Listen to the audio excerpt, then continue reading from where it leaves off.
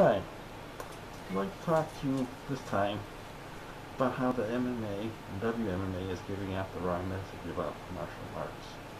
It was never meant to be a prize fighting sport. It's about defending yourself, not being violent, walking away from a fight, not starting one. Not about calling someone out, not taking someone's boot off in a movie theater and throwing it. Now we have all these macho men and women in the MMA saying, mess with me and I'll beat you up. That's not the martial art, martial arts way. It's giving out the wrong message about the martial arts, especially to the kids who want to take it up. Sure, there are judo and taekwondo tournaments, but they keep it judo and taekwondo. I remember my instructor telling us, if you spar, keep it taekwondo. The punches, the kicks, the blocking. If you don't, will just look like a street fight. Well, that's what we're seeing now. Street fight in a cage. Not a lot of technique going on. Oh, sure, you might see some.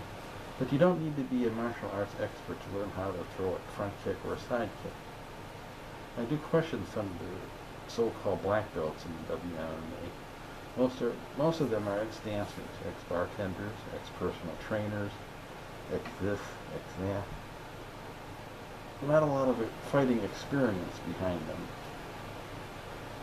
And there's a lot of number of lot of street thugs in MMA passing themselves off as martial arts experts. A true martial arts expert knows how to walk away from a fight. This is how it's taught, and this is how it used to be taught anyway. That's what I mean about the wrong message. Now we're seeing a bunch of fight clubs popping up team fight clubs.